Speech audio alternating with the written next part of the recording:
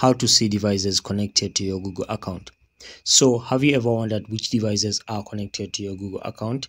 Maybe you signed in your Google account in someone's phone, someone's laptop, but you forgot them and want to see all of them. You're in the right place. Please watch this video till the end to avoid missing out anything. Alright, so let's start off. Um, first step is to come to your Chrome application.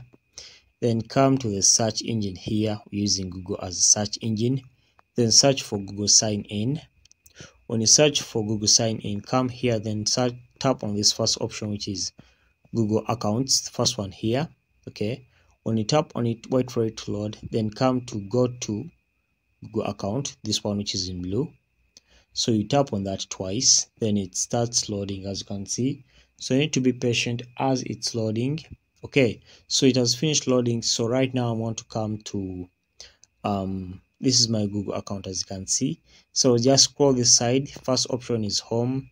Second one is um, personal info data and privacy security um, people and sharing.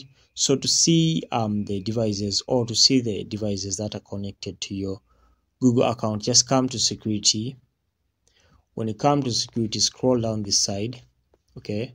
So when you scroll down up this side i think you can see over here um um, here there's an Android device here and there's also a Windows computer which is connected to this device over here. So it's only two uh, devices which are connected to this Google account and that's all guys. So that's how to check for devices which are connected to your Google account.